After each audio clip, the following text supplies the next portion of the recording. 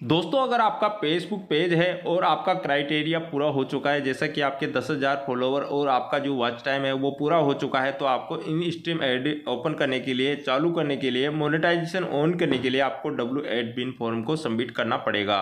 जी हाँ दोस्तों क्राइटेरिया करने के बाद आप इन स्ट्रीम एड को आप पूरा कर सकते हैं। उसको ऐड करने के लिए दोस्तों, आपने यहाँ पर चूज़ ए फ़ाइल पर क्लिक करना है और चूज़ ए फ़ाइल पर क्लिक करके इस फॉर्म को यहाँ पर सबमिट कर देना है। दोस्तों, अगर आपने ये वीडियो देख लिया है, जैसा कि आपने पिछला वीडियो नहीं देखा है तो आप जाकर देख सकते हैं। उस वीडियो को देखने के बाद वहाँ पर आप सारे स्टेप फॉलो करेंगे। उसके बाद आपको डब्ल्यू एड बेन फॉर्म आपको डाउनलोड करना है और इस फॉर्म को अच्छे से आपको फिल करना है।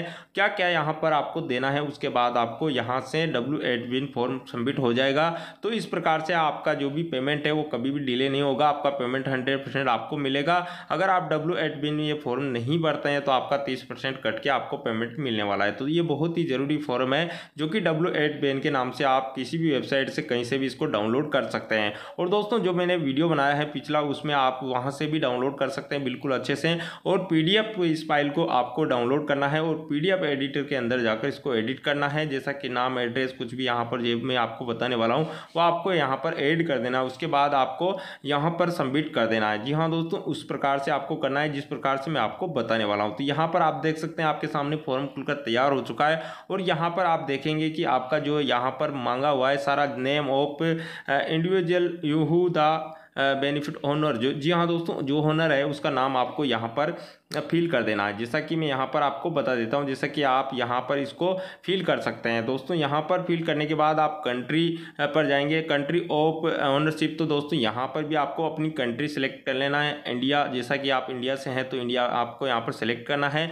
और जो आपका परमानेंट एड्रेस है, वो आपको तीसरे नंबर पर भर देना है। जी हाँ दोस्तों, जो तीसरा ऑप्शन आपको दिखाई दे रहा है, यहाँ पर आपको परमानेंट एड्रेस भर देना है, जो कि पोस्ट ऑफ़िस का जो नंबर है, आपका जो पोस्टल कोड है, वो भी आपको यहाँ पर एंटर कर देना है। तो तीसरे जो ऑप्शन के अंदर नीचे की साइड में आपको दिखाई दे रहा है, जैसा सिटी टाउन स्टेट और आपको जो पोस्टल कोड है, वो आपको यहाँ पर फिर से भर देना है। यहाँ पर आपको भरने के बाद इसके सामने आपको कंट्री दिखाई दे रही है। यहाँ पर कंट्री पर आपको अपनी कंट्री चूज़ कर लेना है। तो दोस्तों, इस प्रकार से आपको करना है। और चौथवा जो फॉर्म है, जो चौथवा जो स्टेप है, वो आपको यहाँ पर दिखाई दे रहा है, जो कि मेलिंग एड्रेस यानी आपको मेलिंग एड्रेस में सिटी टाउन चौथवे स्थान के नीचे city town state provide include postal code ये भी है तो यहाँ पर भी आपको कुछ नहीं बनना है। यहाँ पर नीचे की तरफ़ आप देखेंगे तो यहाँ पर आपको जो चौथवा जो नंबर है, उसका जो फॉर्म है, वह यहाँ पर कंट्री आप भर सकते हैं। दोस्तों, यहाँ पर आपको कंट्री भर देना है। पाँचवें स्थान पर यूएस जो भी आपका है, वो आपको यहाँ पर डिफरेंट नंबर जो आपको भरना है, वो बिल्कुल मेन चीज़ आपको यहाँ पर पाँचवें नंबर पर नहीं है, जो छठवा नंबर जो आपको दिखाई दे रहा है छः ए पे। सिक्स ए जो ऑप्शन है, यहाँ पर आपको अपना जो पैन कार्ड संख्या है, वो आपको यहाँ पर भर देना है। जी हाँ दोस्तों, अगर आप यहाँ पर पैन कार्ड संख्या नहीं भरते हैं तो आपका बिल्कुल भी ये फॉर्म सबमिट नहीं होने वाला यहाँ पर आप देख सकते हैं, आगे की तरफ़ जो छठवा जो सिक्स बी है, इसके अंदर आपको यहाँ पर टिक मार्क लगा देना है। और दोस्तों, जो एटवा जो आठवा है, जो आठवा ऑप्शन आपको दिखाई दे रहा है, डेट ऑफ़ बर्थ, यहाँ पर आपको पहले महीना बनना है, फिर डेट बनना है फिर ईयर बनना है। जी हाँ दोस्तों, इस प्रकार से आपको यहाँ पर डेट ऑफ़ बर्थ आपको लगा देना है। तो दोस्तों, यहाँ पर जो फ़र्स्ट पार्ट है, वो पूरा हो चुका है। सेकेंड पार्ट में मैं आपको दिखा देता हूँ कि किस प्रकार से आपको क्या करना है। तो दोस्तों, यहाँ पर आप देख सकते हैं सेकेंड पार्ट आपके सामने आ चुका है, जो कि क्लेम ऑफ़ द टैक्स जो कि आपको दिखा दे रहा है, यहाँ पर आपको कुछ भी नहीं करना है। दोस्तों, यहाँ पर सेकंड पार्ट के अंदर आपको कुछ भी एंटर नहीं करना है और पार्ट थ्री आ जाता है, जो कि सर्टिफिकेशन जी हाँ दोस्तों पार्ट थर्ड में आपको क्या क्या करना है, मैं आपको बता देता हूँ।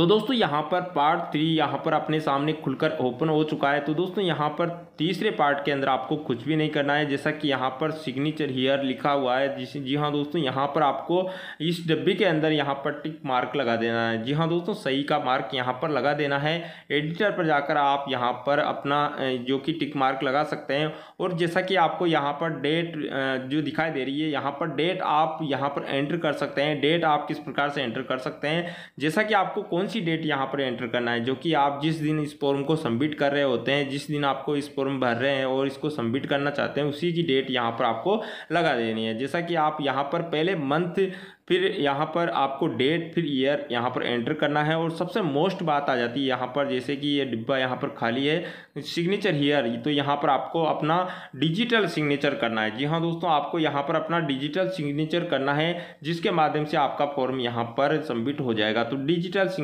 जो सिग्नेचर होते हैं, वो आपको अपने या कॉपी के पन्ने के अंदर आप कर सकते हैं सफ़ेद वाइट पन्ने के अंदर आप कर सकते हैं, वहाँ से इसको पीएनजी बना के यहाँ पर इसको लगा सकते हैं। इसके अलावा आप नीचे सिग्नेचर में लिखा हुआ है यहाँ पर, जिस नाम से आपने सिग्नेचर किया है, उस नाम को यहाँ पर नीचे एंटर कर देना है। जिस प्रकार से आप ऐसे ही एंटर करेंगे तो इस फ़ाइल को आप पीडीएफ में एंटर कर सकते हैं और पीडीएफ फ़ाइल के अंदर आपको इसको जो कि डाउनलोड करना है, उसके बाद आपको वहाँ पर चूज़ ए फ़ाइल पर जाकर इसको अपलोड कर देना है। जी हाँ दोस्तों, इस प्रकार से अगर आप करते हैं तो आपका बहुत ही अच्छे से डब्ल्यू एट बेन फॉर्म भर जाएगा और आपका पूरा पूरा पेमेंट आपको मिल जाएगा और आपका कोई भी पेमेंट में से कटौती नहीं होगा और आपका कभी भी पेमेंट डिले नहीं होने वाला। तो इस प्रकार से आप कर सकते हैं और आशा करता हूँ कि आज का ये फॉर्म आपको बहुत ही अच्छा लगा होगा, बहुत ही अच्छा समझ में आया होगा। अगर नहीं समझ में आया तो कुछ अगर आपका डाउट है तो आप मुझे कमेंट कर सकते हैं, मैं आपके कमेंट की रिप्लाई करने की कोशिश करूँगा।